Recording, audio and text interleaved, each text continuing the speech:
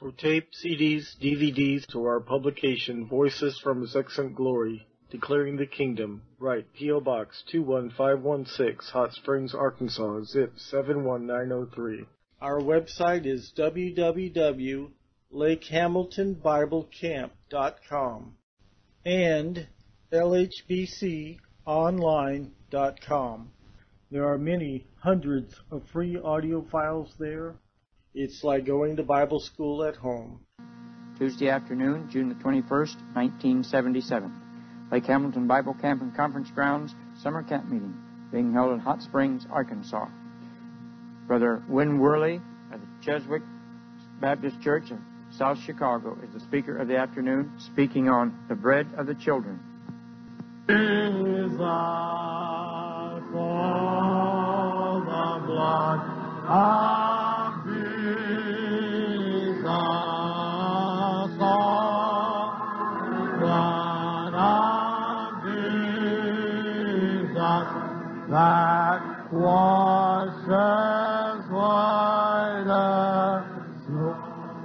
I have to correct Brother Glenn on one thing. That's the Hegewisch Baptist Church.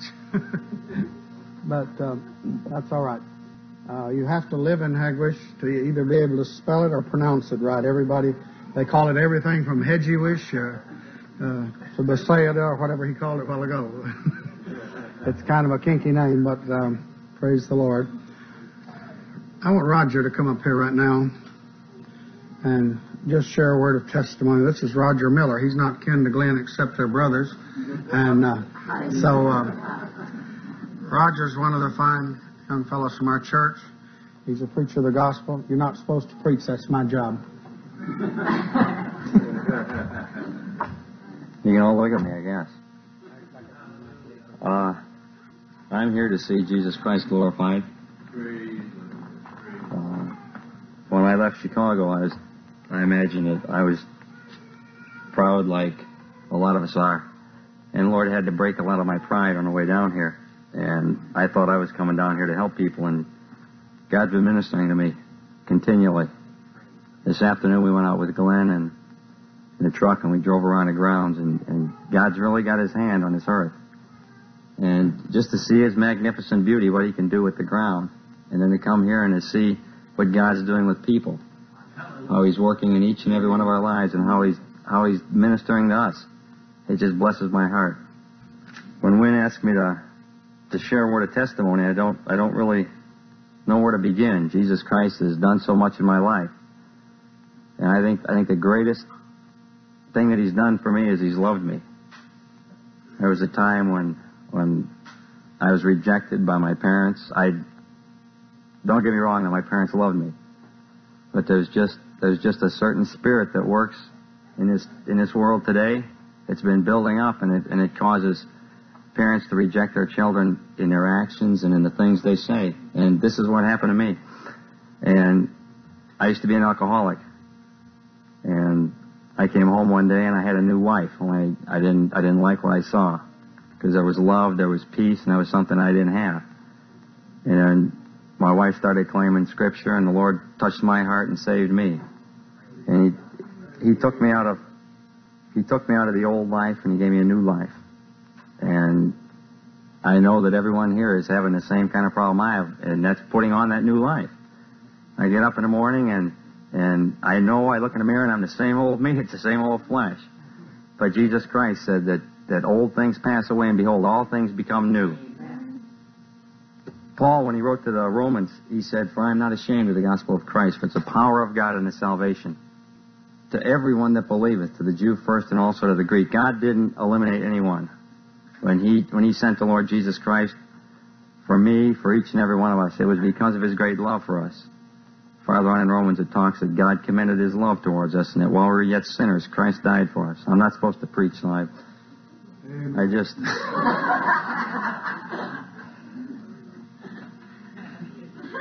I've seen I've seen some things down here that just bless my heart. I'm gonna I don't know if it's this pulpit or what it is, but I'm getting excited. I want to jump around like everybody else. Pray for me because the Lord's liable to, to to really work me over here about a few things.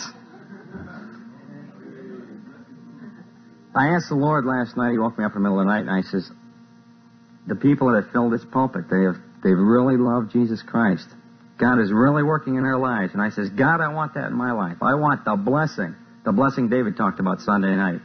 The blessing of eternal life, of that victorious life of, of continually walking in God's light and knowing that we're God's children, that, that I am God's chosen. And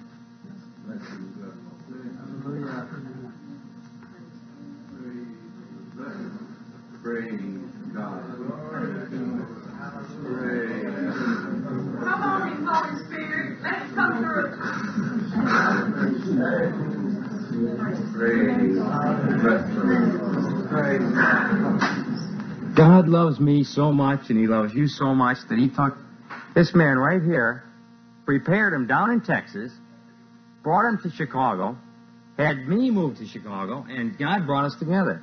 And He put His big arms around me, and God says, I love you, son. And God broke my heart. I was hard. I still am hard.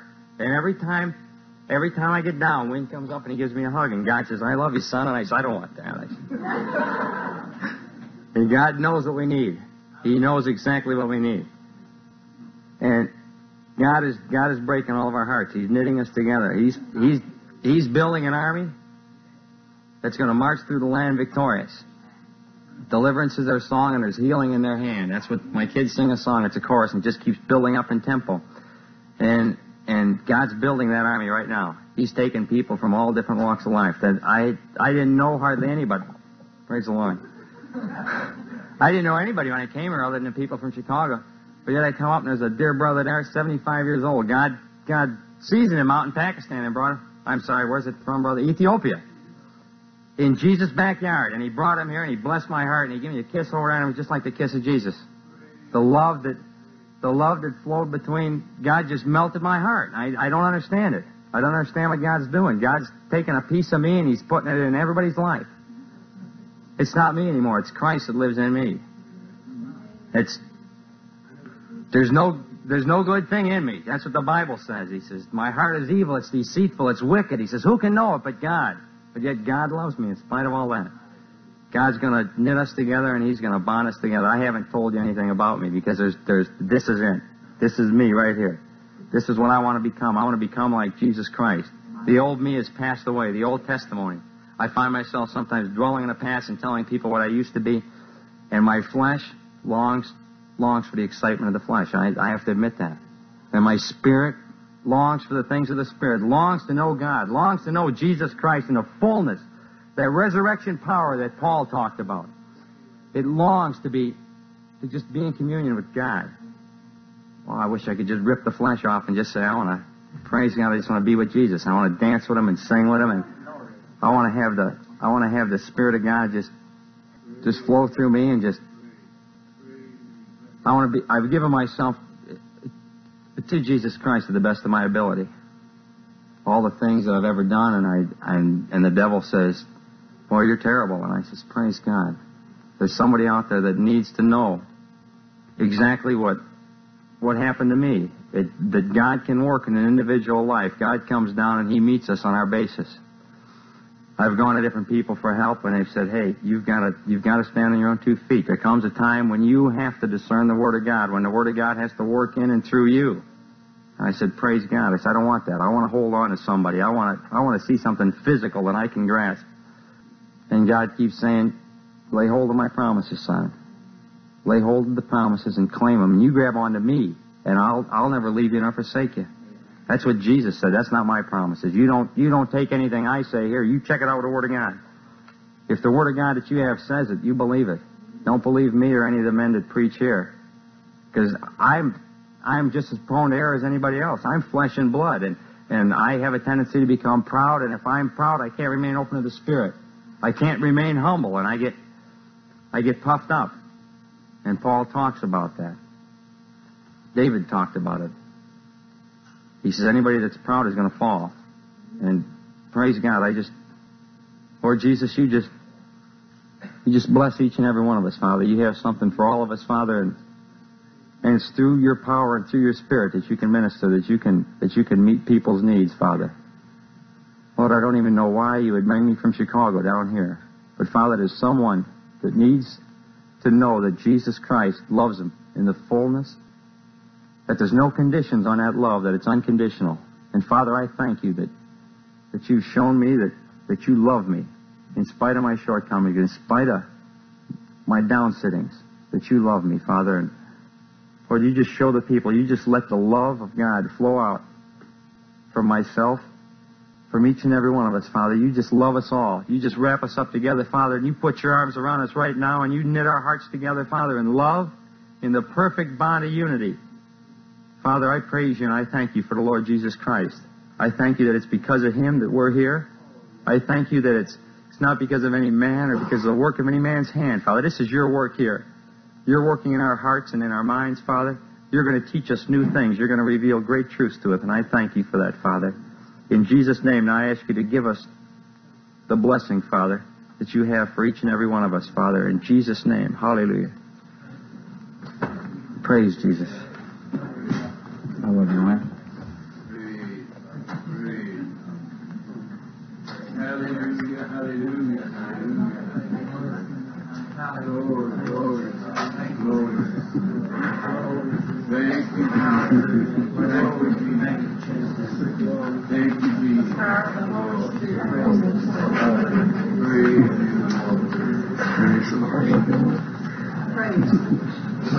Hallelujah.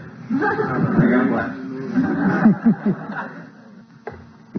And if you slip up there, I sing a song that's kind of a theme song for deliverance.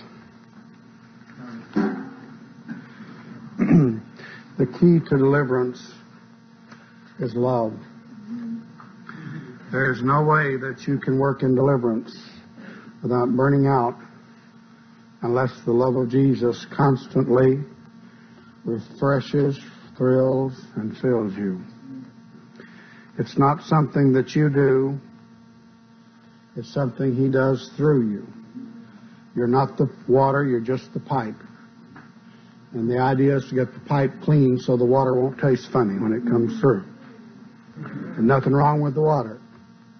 You know, if you're go out someplace where there's a well and you draw water out of the tap, the water's clear, cool, and refreshing.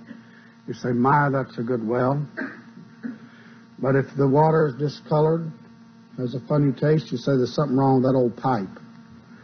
What I'm saying is you don't even become conscious of the pipe unless there's a funny taste in it. We need to have God clean us up so there won't be any funny taste to the water of life coming through us. If they'll say what a wonderful Savior and not what a wonderful person you are, or I am. Doesn't matter whether people see us, it matters that they see Him. And I've run across people since I've been working in deliverance who burned out. Yeah, we used to do that too, you know. We found a better way. I've checked out their better way, and every time I've learned to know this. When they say they found a better way, my heart goes out to them because I know what's happened.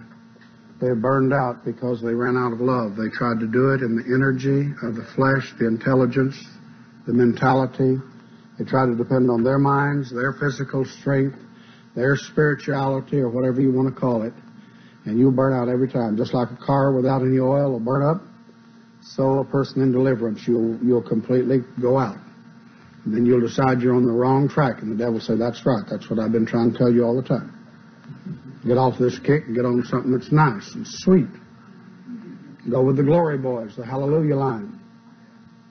That's what I call them, the glory boys. You know, the ones that out in the name of Jesus. You're free, brother, sister. Take it by faith now. Don't doubt God. No change, no difference, no difference, no deliverance, friend. I don't care who prays for you. If you're not different, you weren't delivered. No difference, no deliverance. This song has kind of been a real blessing to me because I've felt the thing that Bill Gaither felt, I guess, when he wrote it. I could never outlove the Lord.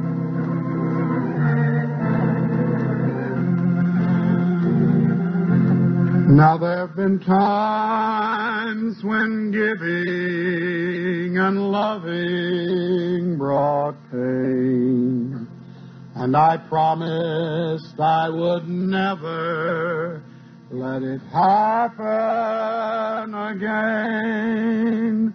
But I found out that loving was well worth the risk, and that even in losing you win. I'm going to live the way He wants me to live. I'm going to give until there's just no more to give.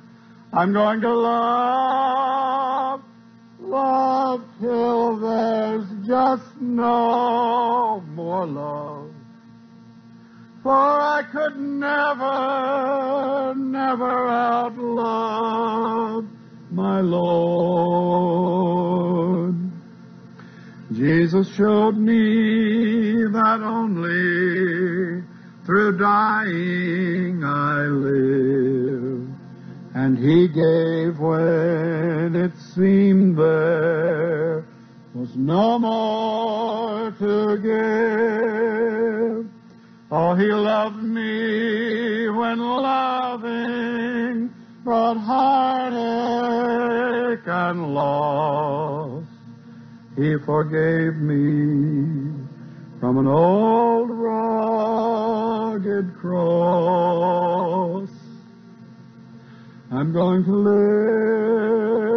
the way He wants me to live.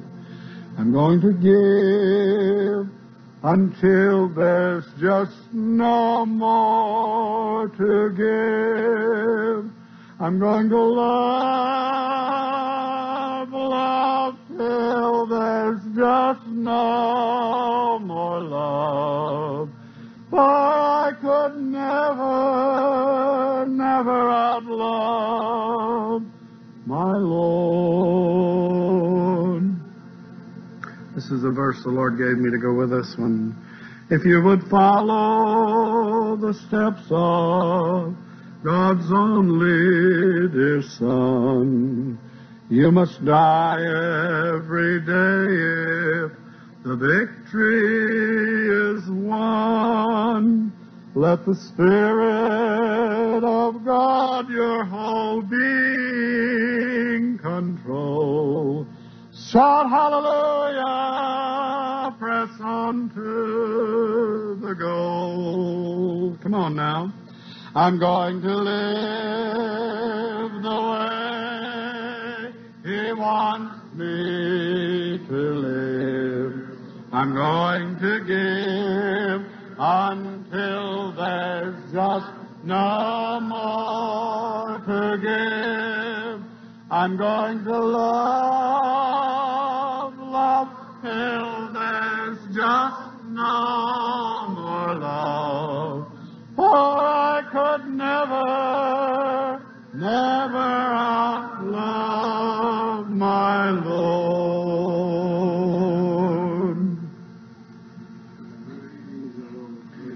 Believe that's what the Lord wants all of us to do. He set the pace and he said, Follow me, didn't he? If you follow Jesus, you'll end up on a cross. There isn't any other way. You follow Jesus all the way, you won't stop in Gethsemane, you'll stop at Calvary. That's the destination of every Christian who walks with the Lord. Did you know that? You say, well, you're scaring me. If I can scare you off, well, you wouldn't last anyway. You'd never make it to the end if you wouldn't, if you would be scared off that easy. Brother David made some remarks this morning about the land, and I certainly agreed with him. But there's another uh, thing I want to mention because, well, first of all, let me say this. I preach more about demons in meetings like this than I ever preach at Hegewisch Church. As a matter of fact, you'll seldom hear demons preached on at all at our church. It's not necessary. I can preach on John 3.16. When we get through, we'll have demons manifesting all over the place. They know who we are. They know where we are. The demons knew we were coming here. They have a well-organized network of communication. And every person that is demonized in this whole area, the demons were alerted to keep them out of that meeting. Worley and that bunch of nuts from Chicago are coming down. And they're going to cause trouble, keep them out of those meetings. And that's why some of you have had trouble getting here and some other folks haven't made it yet. You're going to have to climb fences to get to where God's moving, folks. Uh, if you're not willing to put out a little effort, you're going to miss the blessings of God. And you need to come to these meetings if you want help. If you won't put out the effort to get here, then God's probably not going to help you because you're not ready. Not because God's not able, just because you're not willing. And I don't want to be ugly or hateful or anything like that, but I'm telling you, God's going to move and He's going to set a lot of people free. He always does. And we praise Him for it. I want to mention some things about the land, and I don't plan to dwell on it. But I want to drop these on you. If you've got your pencils, jot these scriptures down. This will help you in understanding a little bit about deliverance. I'm hoping to get to the bread of the children if I don't get sidetracked. Uh, but I felt that I should mention these verses first. Exodus chapter 23, verses 27 uh, through 30. Exodus 23, verses 27 through 30. God said, I will send my fear before thee, and will destroy all the people to whom thou shalt come. I will make all thine enemies turn their backs unto thee, and I will send hornets before thee, which shall drive out the Hivites, Canaanites, the Hittites from before thee. I will not drive them out. Notice this, I will not drive them out from before thee in one year, lest the land become desolate, the beasts of the field multiply against thee. By little and little I will drive them out from before thee until thou be increased and inherit the land. Now this, people are always wondering why isn't deliverance spelled out more definitely in the New Testament? In the first place it is. But there are still a lot of missing details that we'd like to know about spiritual warfare. Well, God doesn't waste anything. He figured a lot of folks wouldn't be interested in fooling with deliverance anyway, so he didn't bother to put it on the shelf where they could kick it around. So he hid a lot of the truth over in the Old Testament because he knew some of us would stumble into deliverance and we desperately need information, scriptural backing, and understanding and wisdom. And so he hid it in amongst his dealings with the people of Israel. We've just begun to uncover some of these nuggets. The book of Psalms is a warfare book. It's almost entirely about warfare with spiritual enemies that are after the soul of the man, not the body, but the soul. Now, David's physical enemies couldn't have cared less about his soul. They wanted to cut his throat. And yet, if you read the Psalms, you'll find over and over again the references to the battle. You don't need the angel of the Lord to chase human enemies, really. But yet the angel of the Lord was called in to chase the enemies of David. Also, the fear of God was commanded to come upon them. The confusion of the Lord was to come upon them. And if you read the Psalms, you'll find a lot of help in understanding this. In the Old Testament, in God's dealings with Israel, you'll find a lot of information about how spiritual warfare works and the, and the why of it. Here's one of the verses right here. Why people don't get delivered all at once. In the first place, you couldn't take it. I doubt if the person doing the deliverance could take it. I'm super deliverer number one. When I speak, they flee. You may line up over there, you may touch me. Can you imagine what a mess that would be? But I'll guarantee you, after you've wiped out your pride on the floor down here, and the demons kicked on, kicked you and spit on you and bit you and, and uh, chopped your eye open, I've had all those things happen to me and more, and I've been flung across the church and things of this sort. You just sort of get the idea that uh, you're going to have to have help, lots of it. And if God doesn't intervene, you sure are up the creek without a paddle. And you don't have any trouble understanding who is doing the delivering and who's doing the work. You just happen to be a soldier in the field. And soldiers sometimes get wounded, so there's nothing wrong with that. We thought we talk, call it battle scars. Most of our people got battle scars. And uh, you will too if you get into this thing. Children of Israel had a divine right to the land in which they were marching. They had the title deed from God. He made the land. I guess he could give it to whoever he wanted to, and he said, It's yours. It's all yours. Now just go in. When they got there, the Canaanites and all those other folks said, Oh, I beg your pardon. Well, we'll just pack right up and move. I'm so sorry. We didn't realize we took your place. Oh, no, they didn't. Listen, they had walled cities. They had powerful armies, chariots of iron. They had marching armies. And they said, No way will we let you have this. We've been here for a long time. Boy, how many times have I heard that? No, I will not leave Win Worley. I've been here a long time and we're not going. She belongs to us. I like to hear them say that. That means you're going to have a tussle. I mean, I hate these cowardly ones that just flush and run real easy. You know, most people, well, maybe I shouldn't say that. A lot of people who are in deliverance, I feel kind of sorry for them because they come to me and say, oh, well, there's no trouble. All you do is just speak and they leave. You know what I, I found out? They've been batting butterflies and chasing blackbirds. There's nothing wrong with that. The blackbirds and the butterflies need to go, but they'll go very easily. You can speak and they will run.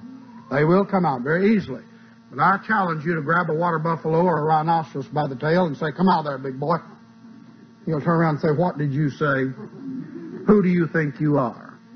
No way. You say, but you're defeated in Jesus' name. He said, that's what you think. They may be defeated, but I'll guarantee you one thing, they put up a fight and retreat. If you don't believe that, then you don't know what's all about yet. But you don't have much pride left when, when you get through wiping it out on the floor a little bit. Just about time you think you've got it all down pat, you'll hit a demon that'll reverse everything you know. I remember one time there was a fellow who'd had a great deal of success in binding a wild demon that was thrashing around the workers couldn't control, and he'd just walk over and say, I bind you in Jesus' name. The thing would just freeze. Well, he'd done that very successfully three or four times. And naturally, he felt confident about it. I mean, wouldn't you?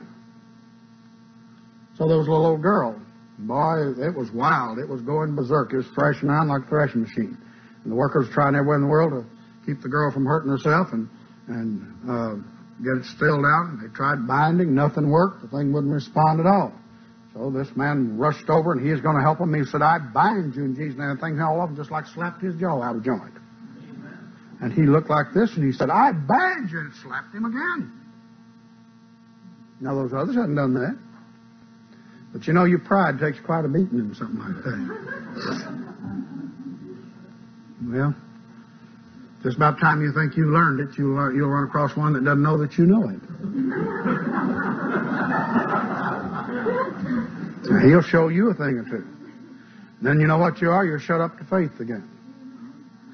Now let me show you the parallel passage in Deuteronomy chapter 7. I won't dwell on that too much. Moreover, the Lord thy God, verse 20, Deuteronomy 7:20. Moreover, the Lord thy God will send the hornet among them, till they that are left and hide themselves from before thee be destroyed. Thou shalt not be affrighted at them, for the Lord thy God is among you, a mighty God and terrible. And the Lord thy God will put out those nations before thee by little and little, that thou mayest not consume them at once, lest the beasts of the field increase upon thee. Now I want you to parallel that beast of the field. You remember Paul wrote about the beast, he fought beasts at Ephesus. I used to wonder what those were till I got deliverance, then I had no doubt about it. It's also Ephesians has that, that armor described, doesn't it? And I think I'm going to get to preach on the armor sometime. One of these preachers doesn't steal my thunder. But uh, in case I don't, I'm going to steal something from them. You know, it talks about having done all to stand. That sounds so static, doesn't it? But if you go back and check the Greek out, you know what it's talking about? The word to stand, used there in that particular passage, means it was used when a gladiator had been fighting in the arena and he had defeated and disarmed his enemy. The enemy was on the ground and he had the point of his sword at his throat and he looked to the ruler of the games as to when and how to dispatch him. Having done all to stand. Isn't that great? When you do all the others, you can stand with your sword at the tip, waiting for the orders from up high, how to get rid of this thing. Praise the Lord. He didn't overlook anything in it. Now, this business about the land, think of the land as being your body. It's invaded by trespassers, squatters, and interlopers who've been there for a long time. Some of them you inherited. You wouldn't believe how far back some of these curses go. We traced some of them back 1,500 years or more. They jump third to the third and fourth generation. All you need is one one dummy in the bunch to pick it up, and he'll pass it on the, like the plague to the next generation for three more, four more generations. And it's cursed from God, dear friends, so it needs to be taken care of. It's very serious business. Talking about the occult. You're not aware of that, pick up the occult track back there. Check it out. It's extremely serious. Your grandpappy was in water witching, boy, you got him. Your grandma stirred up a little uh, medicine, you know, and she talked to it while she was stirring it. Yeah, you got them. All those little nice things, you know. You know, if you, uh, you cut an Irish potato in half, you rub it on a wart, throw it over your left sho- shoulder at midnight when a black cat runs across behind, or bury it under the northwest corner of the house at the full moon or something. And sure enough, the wart go away. Yeah, that's right. You may have cancer in place of it. Or maybe just have a marital breakup, homosexuality, su- suicide, insanity. Those are a few nice swaps. You always swap up when you swap with the devil. That's how Christian science heals by swapping. I mean, you know, you swap a wart on your hand for a cancer. Swap a headache for a brain tumor. That's pretty good swap, wouldn't you say? The devil was getting the best of the deal. That's the that's the way you do. These psychic surgeons you've heard about. Within two years, nearly all their patients have committed suicide, had marriage breakups, turned into homosexuals, murderers, or all kinds of crazy things have happened to them. Eaten up with cancers. That's what happens when you fool with the devil. Now, but I just gave you these to meditate on and not to get discouraged. He said, I'll deliver you by little and by little. If he delivered you all at once, you couldn't take it anyhow. Some people are full of demons, you pull them all out once, there wasn't anything left to hold the walls up. I mean, it'd be like an egg without any egg in it. Nothing but the little hollow shell. And God takes them out by little and lets you build up. He didn't waste anything either. If you're just going to haul off and frit it away and throw it away, there's no use you, and you getting it all out and then have it all come back eightfold, right? Eight for one, that's pretty bad. Uh, seven for one, seven more, eight, eight for one. That's pretty bad change. God works with us, and He does it very sensibly. Now, before I get into the main thing I wanted to talk about today, uh, some people have asked some questions. They've watched our workers work and have, made, have remarked to me about some things they were impressed about. And let me just mention this. We may be working deliverance a little differently from where you've seen it before. We don't say that we have the only way of doing it, but the way we that we do deliverance has worked and has worked well for literally hundreds of people. Our church, because it's 97% workers, can process an almost unbelievable number of people through deliverance in a single service. And we believe that every church should be set up this way. We believe that everybody's in the battle. Everybody ought to witness and win. Everybody ought to be able to pray for the sick, and everybody ought to deliver people from demons. And because, uh, you know, if you happen to be the only one in the business in a place the size we are, well, then you get swamped with all the business.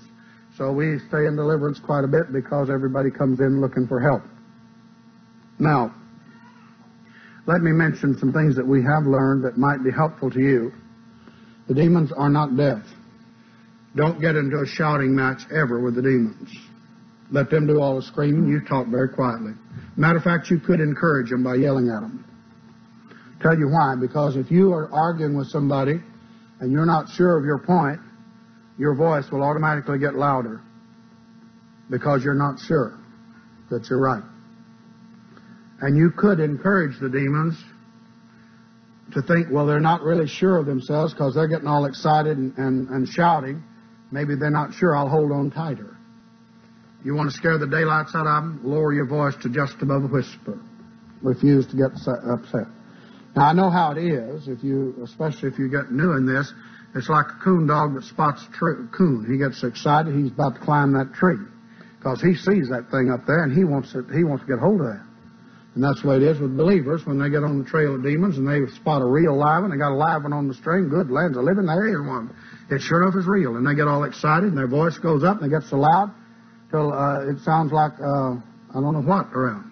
And you can't hear your ears. And a lot of demons feed on confusion. Don't give them anything to feed on. In quietness and confidence shall be your strength. Listen, we're backed up on bedrock.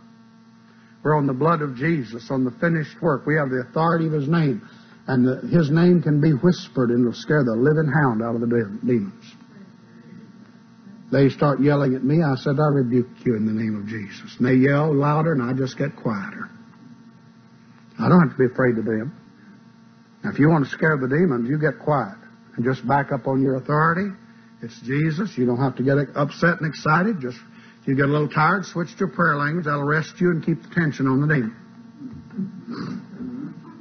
That's right. Didn't you know that praying in tongues rests you physically as well as spiritually and mentally? Sure. So when I get tired, I just rest while the demon just gets under misery. And I just sit there and smile, pray in tongues. I've had them say, shut up, can't you talk in English? I said, I will in a minute. I said, don't you enjoy this? He said, not particularly. See, the Holy Spirit's just busy just making hash of. They can't understand the tongues, by the way. The tongues of men and angels. Now, God can shut it off when He doesn't want them to hear it, but when you're dealing in deliverance, the demons can understand it. And they don't like what they hear. They'll lie and tell you they can't understand it. Don't you believe them? I know we've had them say, I don't know what you're saying. You don't know what you're saying either. I said, well, nevertheless, here goes, and we just keep it going. That's why I said, when I'm looking at me and said, don't you say that about me. You have no right. I'm not that bad. I said, I thought you couldn't understand. He said, shut your mouth. Of course they can understand. Tongue of men and angels, why wouldn't they? Sure they understand. When God wants them to.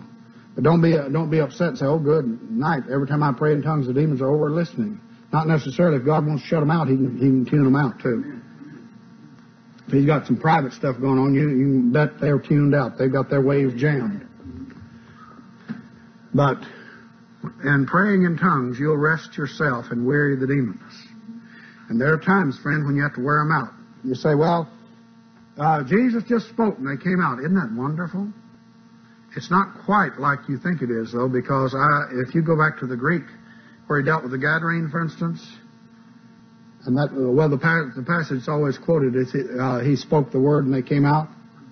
Only thing is, the Greek doesn't say that. It says they came out because of his discourse.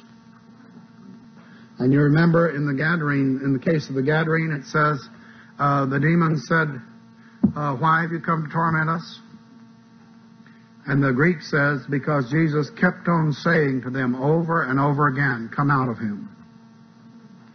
See, a lot of people would learn something if they just go to some of these Greek, uh, they don't have to be Greek students. You can just go and dig up what somebody else knows. But you can learn a lot from the English. So don't worry too much about the Greek if you haven't covered the English yet. But I just dropped that in on you for uh, just a little bombshell for you to deal with and think about. So when you're dealing with demons, don't think you have to get loud. I've heard of people who manhandle the people in deliverance. We never do that. If you're going to work in deliverance, be prepared to be punched in the nose, eyes, kicked, bit, spit on, and never, never retaliate. I've heard about and read about people who haul off and slap somebody or hit them, and I just shuddered. I could not imagine myself or any of our workers ever doing that. Listen, this is a sacrificial love service. You give yourself. If you can't do that, you're not ready to work in deliverance yet. You just praise the Lord. If you're hurting bad enough, get one of the workers to pray for you. That's all. No problem. We've never had anybody seriously hurt. We've had some that were stunned for a little bit. I had my eye ripped open with a karate chop, about five stitches wide. Still got the scar up here. The fellow prayed for me. I almost prayed the scar away so I wouldn't have anything to show for it. But, uh, hey, uh, but uh, a Moody Bible Institute student, um, uh, had been out on a short-term mission in Germany over the thing, came back and he'd been into karate, and so the karate spirit was rather nasty, and he was telling me he wasn't coming out. So I proceeded to get my little bag of tools out and begin to needle him with various things that I found make them extremely uncomfortable. He got so uncomfortable, he ripped the arm, arm loose and he whopped me and laid my eye open. And blood came out. Well, I moved back. He didn't get any help because the worker just moved in on him. and didn't give him any help. But I just stepped back and one of the boys said, oh, it's going to take four or five stitches to close Pastor Worley's eye. And I have a little Polish Catholic man, converted Catholic, who is one of our elders, and he he said, "Oh no, it's not. Come over here, Win." And we sat down on the platform. And he first he put his hand over there. He said, "I rebuke this blood and command it to stop in Jesus' name." Boy, it shut off just like a faucet. Then he pushed it together. He said, "Now you stay in Jesus' name and you heal right now." He was just real angry, and um, then uh, he said, "Now every bit of that pain leave his head," and it just went like that. He said, "Now go wash your face, Flynn." So I went back to the laboratory, washed my face. I had a little thin red line. It never was bruised. It never swelled. Never was sore. There were some people got their eyes open. Some visitors were shocked when they saw that blood shut off. Because, I mean, it was coming down. It was a mess. I went back over the demon and I said, "How do you like my eye?" He said, "I meant to kill you, Win Worley." I said, "Well, that just goes to show you can't always do what you want to, did Oh, listen, they can't. They threaten a lot of things. They can't. They tell me they're going to kill me, I say they have to get in line. There's several hundred head of them got dibs on my scalp. Mm, Don't let them worry. People say, "Oh, this thing keeps telling me I'm going to kill you." You should say, "Really? Praise the Lord." I'll tell Jesus, "You helped me get there when I get to heaven." They'll quit it if you do that. They're telling you to scare you. What do you want to let it play in their hands for? No way. Keep keep cool and keep quiet when you're working with demons. Move in love. Let one person lead the attack. Let the others stand by. Let your gifts operate. Supply knowledge, but don't try to overrun each other. If you're going to pray, pray very quietly. Keep it quiet. The demons hate it. They hate quietness. They want noise and confusion. So we give them quietness and confidence. I mean, we have the confidence and the quietness, and they have the upset. So those are just words I'd say if you're going. to. And also, let me say this too: if some of you are not familiar with deliverance, and you'd like to know about deliverance, don't hesitate to come up where the workers are working. If you're a little uneasy, then don't touch the person. Demons can transfer by a touch. And don't let that scare you because, I mean, you, you, if you're under the blood, they're not going to. But if you want to walk up, you need to walk up where the workers are working. Several people have remarked to me, said, I never saw deliverance like your folks do it. Said, it's so quiet. I said, well, if there's any noise, we figure the demons will take care of that. We're interested in getting the people free. If you want to know, you need to come up close because you'll never hear what our workers are saying unless you're up close. Also, if something is discerned that has to do with a sexual or some kind of a private nature, you'll see our workers immediately make it private and they'll put their hand over the person's ear and begin to speak directly to the demons in the person's ear. And we, we have had people walk up and say, What was that? What was that? I looked up one time and I said, If God wanted you to know, He'd tell you. He knew I wouldn't go off and gossip about it. He's afraid you would, so He didn't tell you. It doesn't make any difference what people have because sometimes they've done the thing, sometimes they haven't. It doesn't make any difference if they want to be free. God isn't particularly concerned. He's just cleaning house. But if you want to learn, the best way to learn is walk up and go. The reason we have so many workers is because when, when somebody gets born again, we stick a Bible in one hand and say, grab a leg with the other one. And so we have a whole church full of workers. Don't you tell them any different now. They don't know that that's not the way you're supposed to do it. I try to keep them away from other churches for a while so they won't know the difference because they think that you're supposed to witness, you're supposed to pray, and you're supposed to deliver people just as soon as you're born, practically. You get under the wing of another believer, you put them with somebody else, say, okay, get over and help them, watch and see what they do. For years, and when I was a preacher, pulled the load like to broke my big back. I run my little fat legs off running all over the country, taking care of everything. But you know, God's got a better way. He's got a whole body that's just dying to get involved if you give them half a chance. Pull them in. Put the babies in there. They learn quicker than the older folks sometimes. They don't have as much to be, well, I don't know about. Get the babies in there. They don't know the difference. You just say, do this and do that. And it's okay. Get some born again Roman Catholics. Boy, they're really good. They're used to being under authority, so they don't question it. You just go ahead and tell them, get to work. They'll say, yes, sir. Praise the Lord. My church is over half converted Roman Catholics. If I preach on a, I preached one time, I came back from Pittsburgh. Allow me, I, my soul was stirred in me by the idolatry I had witnessed in a charismatic conference. I came back, I, I had fire in my eyes. I was hollering worse than David. But you know, I came back and I preached on the spirits of Babylon out of Revelation. Oh, oh my, you should have seen what happened. I'm telling you, the first one to hit the aisle was a little Polish Catholic man, he came up and said, Oh, Pastor Worley, I must have every one of those things. Said, My stomach is killing me. I said, All right, I laid hands on him. I said, Come out of him. And he said, No, leave me alone. And that commenced the three hour one. And boy, they were dropping like flies all over just about every Catholic person I knew. Boy, they were coming out of them like crazy. Mariolatry, Holy Eucharist, confession, fear of the priest, all these nice ones, you know. Well, anyhow, if you want to learn, come up where it's going on and listen and learn. Pitch in and learn. Get kicked a few times. That'll help you. I hope we don't land a spitting one here in your nice red carpet, Gene. We haven't had a spitting one lately. I'm not asking for it, Lord, just to. They are the nastiest things.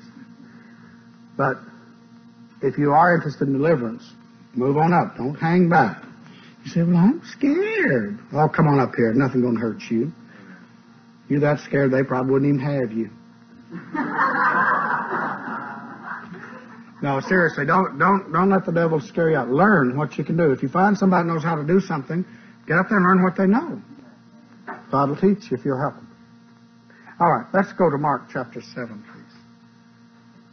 Get Mark chapter seven. Hold your place, and I want you to go back to Matthew chapter fifteen. We'll start in Matthew and end up in Mark.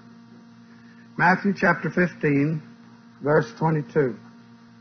Behold, a woman of Canaan came out of the same coast, cried unto him, saying, Have mercy on me, O Lord, thou son of David. My daughter is grievously vexed with the devil. But he answered her not a word. And his disciples came and besought him, saying, Send her away, for she crieth after us. But he answered and said, I'm not sent, but unto the lost sheep of the house of Israel. Then came she and worshipped him, saying, Lord, help me. But he answered and said, It's not meet, it's not fitting to take the children's bread and cast it to dogs. And she said, Truth, Lord, yet dogs eat of the crumbs which fall from their master's table. Then Jesus answered and said unto her, O woman, great is thy faith, be it unto thee, even as thou wilt. And her daughter was made whole from that very hour. Now go to Mark chapter 7. Mark 7, 24. And from thence Jesus arose, went into the borders of Tyre and Sidon, and entered into a house, and would have no man know it, but he could not be hid. You could stop and preach a sermon on the fact that Jesus can't be hid even though he goes in the house. For a certain woman whose young daughter had an unclean spirit heard of him, came and fell at his feet. The woman was a Greek, Syrophoenician by nation, and she besought him that he'd cast forth the devil out of her daughter. Jesus said unto her, Let the children first be filled, for it's not meet to take the children's bread and cast it unto the dogs. She answered and said unto him, Yes, Lord, yet the dogs under the table eat of the children's crumbs. And he said unto her, For this saying, Go thy way, the devil is gone out of thy daughter. When she was come to her house, she found the devil gone out and her daughter laid upon the bed. I want us to talk about this woman for a little bit, learn some lessons. The bread of the children is deliverance. Deliverance was not intended for lost people. You may need to bind and rebuke Satan to win somebody to Christ because if our gospel be hid, it's hid to them that are lost and whom the God of this world has blinded their minds that they might not see and believe. And the devil will interfere with their thinking and, not, and they're not able to believe. And in my ministry many years ago, I discovered sometimes I would come across a person very eager to accept the Lord, but when it came to actually asking Jesus in their heart, they could not do it no matter how they tried. And because I ran across that verse in Corinthians about if our gospel be hid, it's hid to them that are lost, and whom the God of this world has blinded their minds, I began to rebuke Satan and tell him to release their minds and allow them to believe the gospel, and I never yet have seen one fail to accept the Lord. So if you run across a case where a person genuinely wants to accept the Lord and cannot, I'd suggest you take authority over the, the uh, blinding power of the devil, and they will be able to believe. Now, this works when people are willing and anxious to accept the Lord. Now, this woman comes. She's a Gentile. And her daughter has an unclean spirit. She comes and falls at the feet of Jesus. She's certainly not a proud woman. She comes and she says, would you please help me? The first uh, version I read in, in Matthew said, she said, Lord, help me. Now, if you really get desperate for help, you're in a position where Jesus can help you. But notice what he did. He, uh, he said, let the children first be filled. It's not meet to take the bread of the children and throw it out to dogs. Now, the Hebrews, the Jews today, if you're around some Jewish people and they're speaking in Yiddish, uh, you may hear them, they may see them glance in your direction and say something about Goyim. And Goyim is their word for Gentile, and it means dog. You may see them smiling over you, Goyim, you know, and you think, oh, that's nice, yeah. You don't know, they just called you a dog. And this was a Jewish word for Gentile. Now he comes, Jesus comes, here's this poor woman, she's all beside herself, she's upset, her daughter has an unclean spirit, and she comes and she says, Oh Lord, please help me get this evil spirit out of my daughter.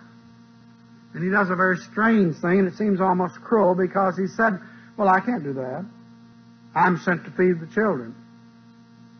And he said it's not meet or fitting to take the bread that belongs to the children and turn around and feed it to the dogs. Sorry, you're not at the table. Now, this woman, if she had been like a lot of people today, she'd said, What? call me a dog. I'll just take my business someplace else. Not going to call me a dog. Very idea. I thought you helped people. Didn't know you went around insulting people. Here I came begging for help. You call me a dog. And she could have got her feathers ruffled. A lot of people do, don't they? We once in a while we have somebody come to our church. They're looking for deliverance. So we say, well, okay. And I'll call one of the workers. Say, what's your trouble? They'll tell me. I'll, say, I'll tell one of my workers. I'll call somebody up. Usually, a lot of times you have a grown man who comes. I know one of the New Testimony says that said this man said, uh, I went up there confidently to Pastor Worley and and he talked to him in a minute, and then he gave a high sign. Here comes some kid that was uh, young enough to be my boy, and he said, uh, "Take this man and do this and this and this." And I looked at him and thought, "My, my problems are serious. What do you mean give this kid? This kid don't know nothing." But you know, he was desperate, so he just decided to play along with it. And he said, Law me, said that kid knew what he was talking about. I said, Well, of course. You don't think I'd turn you over to somebody who know what they're doing.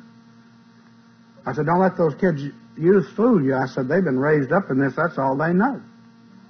Just Jesus and getting people free. So don't don't feel neglected. By the way, if if I may shuttle you to somebody else, if I find out what your problem is, I'm not the only one can help you. Did you know that? Jesus is going to help you. And if you're not willing to be helped by whoever comes along, you're not willing to be helped. Did you know that? You say, oh, my problem is serious. Is that so? We haven't met that one over 150 times in the last year. You just think it, but of course your sore toe is sore than anybody else's sore toe because it's hooked onto you.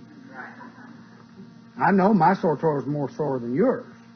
You just think you have problems. You ought to have mine, see. That's the way we all feel, naturally.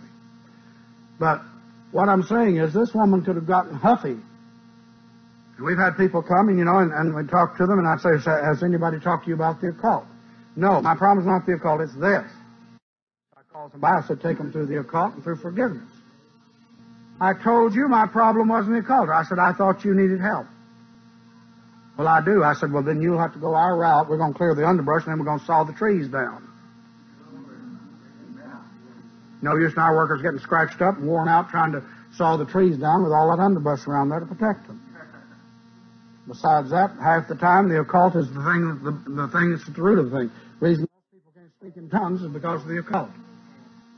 Almost everybody who comes to our church seeking a new language gets it on the spot or within a week after they're prayed for.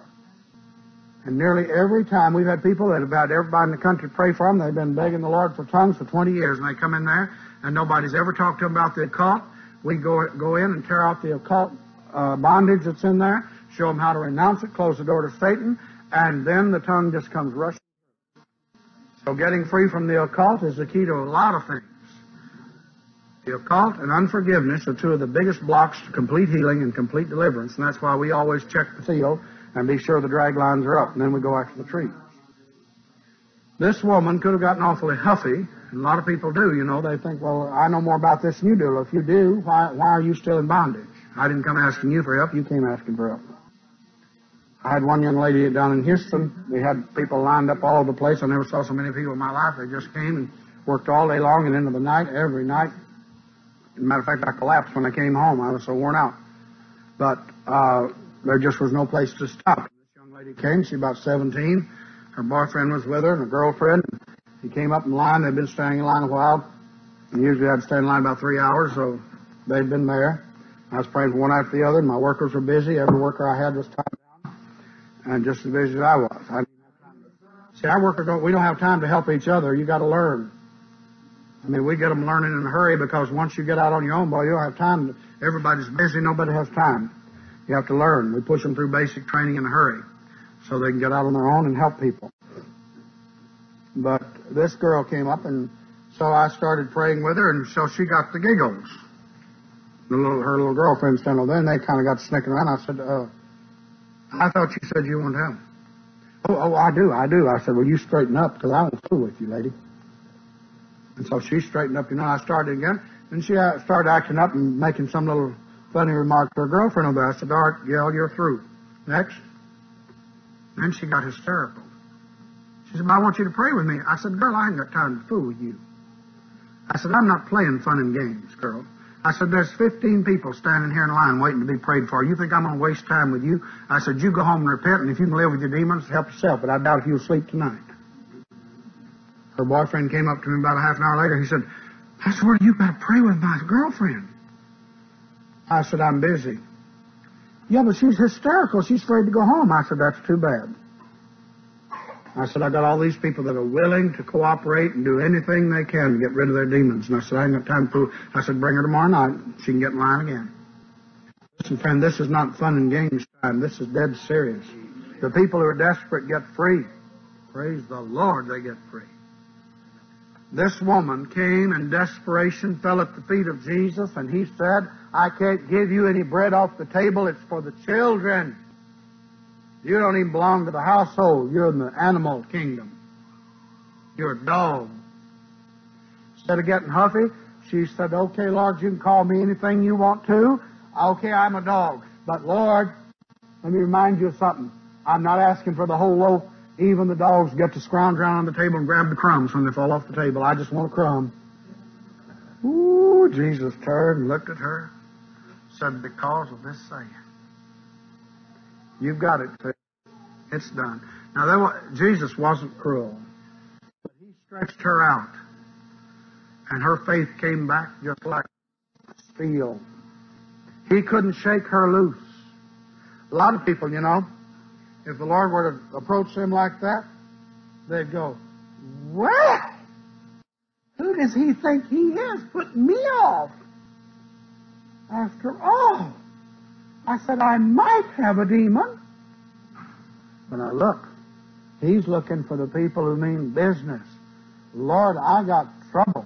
Lord, I can't handle it. I can't hack it. I can't stand it. You help me, please.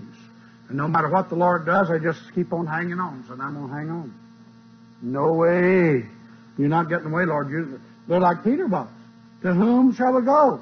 Thou hast the words of life. I guess Peter was pretty discouraged when all the crowd left, wouldn't you be? How would you like it if your preacher preached and was doing such a good job? He had 15, 20,000 people in the congregation, and then he turned around and started preaching, and everybody started leaving. And you came out and said, uh, Preacher, don't you think you ought to kind of tone it down a little bit? I think we're kind of offending some folks. Uh, maybe you could kind of ease it around a different way, and he just preached harder. Finally, they all left, and there's just 12 of them standing there, and they looking there. All their records were ruined. The bus program collapsed. I mean, they didn't have any congregation anymore. They was the biggest, now they're the littlest. They're looking around kind of discouraged, and Jesus said, Well, will you also go away? Peter said, Well, I guess we would, but Lord, where would we go? You've already messed us up. Did you know something? Some of you are messed up. You can holler and fuss and fume and everything else, but you're messed up. You need to talk about leaving and doing this, that, and you're not going to do it. You're hung up high than a kite. You couldn't get loose if you tried. You say, I'm just going to give up. Go ahead. I tried that one time. I did. I went through a period of my life and I just thought, well, I'm just going to quit. I'm just going to, Lord, I just quit. Nothing happened. And I found out I could shake on the rock, and the rock never shook under me. It just stood still. See, I was like the little kid that was walking across the street, little toddler. He had hold of his daddy's hand. And the little boy thought he was hanging on to daddy's hand, real tight. When the little fellow tripped, all of a sudden the strength of the father's hand came into view. And instead of falling, the little one just swung. And the, the grip of the father hung on. And he found out where the strength was. It was in the father's hand, not in that little kid's hand. That little kid couldn't hold on for a minute. He'd have, got, he'd have fallen. Listen, when you take a tumble, you'll find out where the strength is. It's in the father's hand. You may swing, but you're not going to go. He's got you. And I'll guarantee you something. You say, well, he'll let me go. No, he won't. He paid too much for you. You're rotten and you're not worth it, but he paid for you and he's going to keep you. There's not anybody paid for us. He paid for Jesus' blood for us. That's all right. He's going to keep us too. You know something? You can be so sure of the grace of God. You can just quit worrying about your salvation and trying to make it to the end and all this kind of stuff. You don't have to do that. The amazing grace of God is so sure and so steadfast. I can swing out over hell on a rotten cornstalk singing amazing grace and never, never feel a flicker of fear. Now you look at me and see if you think a rotten cornstalk would hold me. Hmm? It's not any use for you to doubt God. Jesus came through when the woman was desperate, when she would not be turned aside, and it didn't make a difference what people said or thought about her. She said, Nevertheless, Lord, I've got to have it. If you'll hang in there with God, you'll get what you want. Now, the deliverance is the bread of the children. Did you notice what Jesus called it? It's not for the outsiders, it's for the insiders.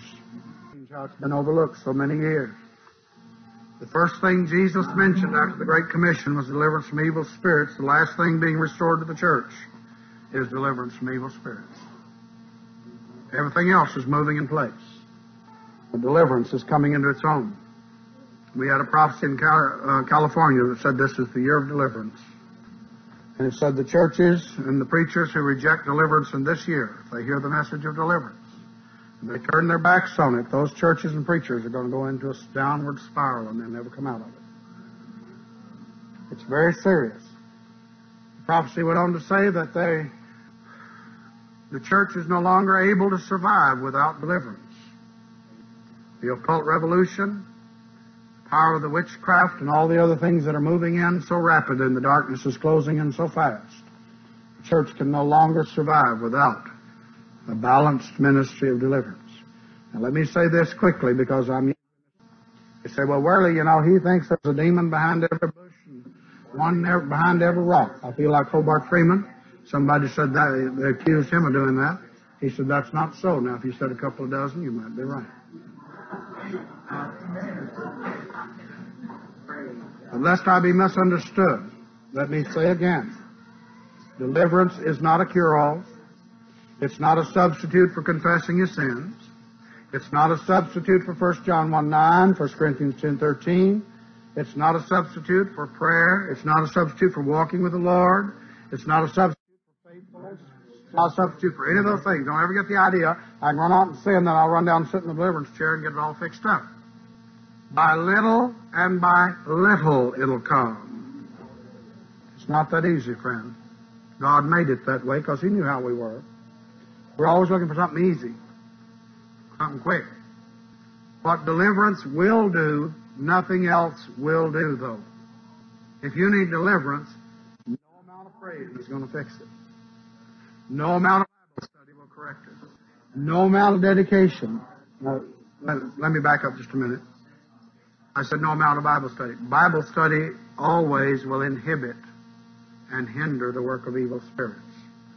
Prayer will inhibit and hinder. But if they're strong, it won't stop them.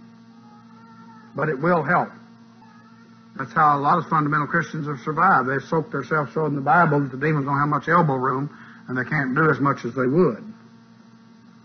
You wonder how they that's how it is.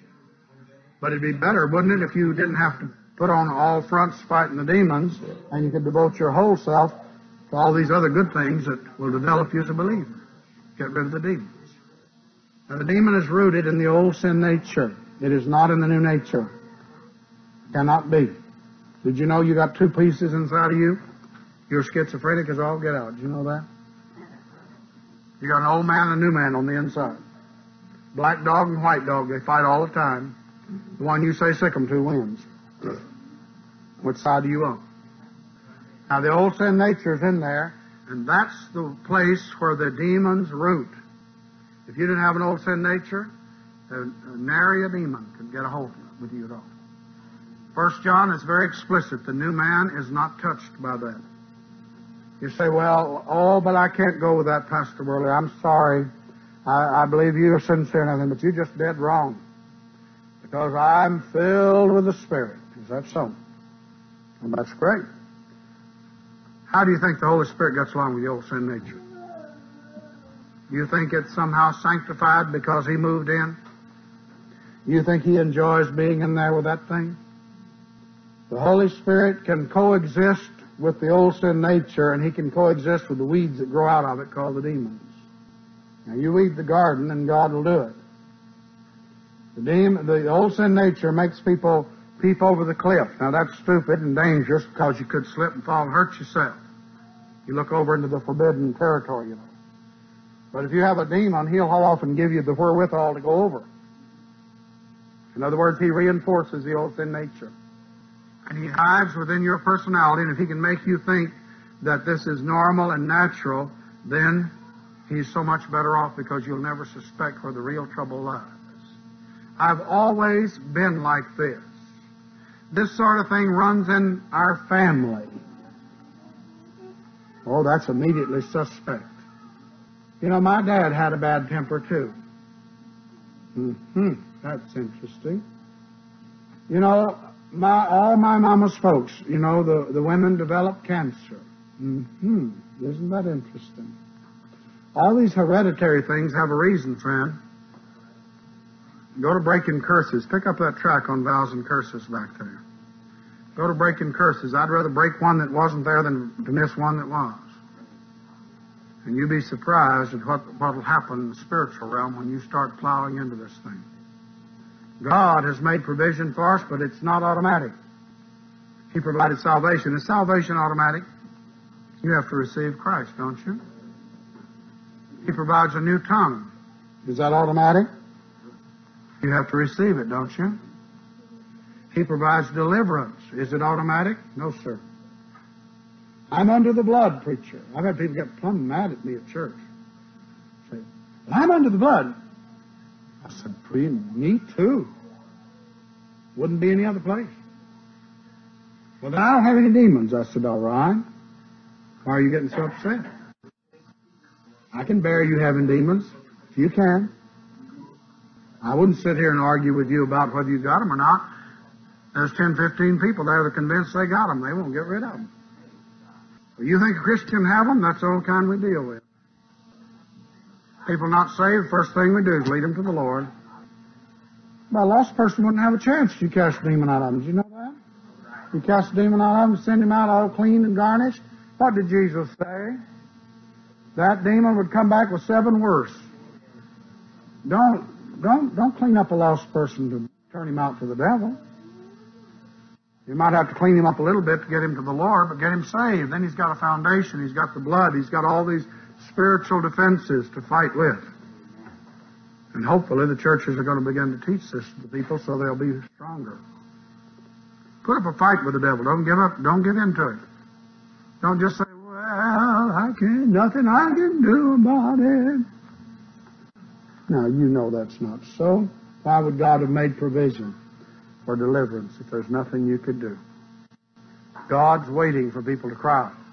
Joel 2.32, Whosoever shall call upon the name of the Lord shall be delivered. By all means, seek the help of the Lord. Is there anybody here who needs to seek the Lord this morning, this afternoon? Let me mention this to you. In a crowd this size, you never know. Have you ever asked Jesus in your heart? Are you sure of your relationship with Him? A boy, a girl, a man, a woman? If you've never asked Jesus in your heart, He said, Behold, I stand at the door and knock. If any man hear my voice and open the door, I will come in. If you've never asked Jesus in your heart, or you're not sure about your relationship to Him, let me urge you to make sure today. You could pray something like this. Now do it out loud because the devil will convince you you never did it if you just do it in your mind. That's right. He'll talk you out before you get out the door. Something like this, very simple. Lord Jesus, if I've never really asked you in my heart before, I'm asking you now. Come in, save me from all my sins. If you mean business, He'll come in. If He's already there, He'll clear up the confusion.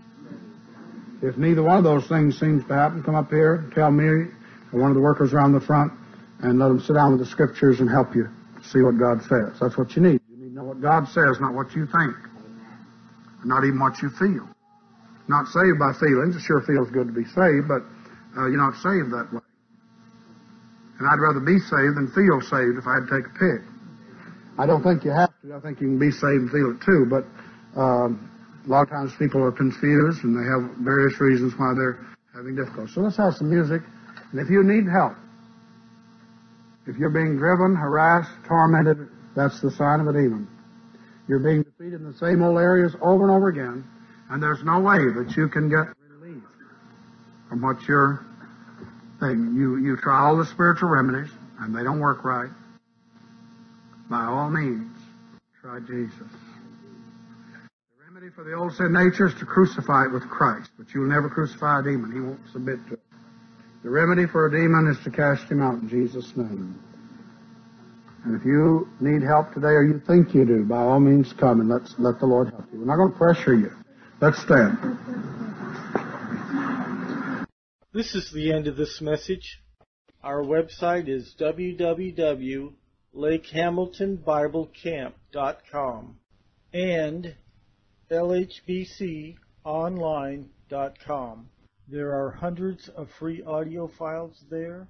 It's like going to Bible school at home.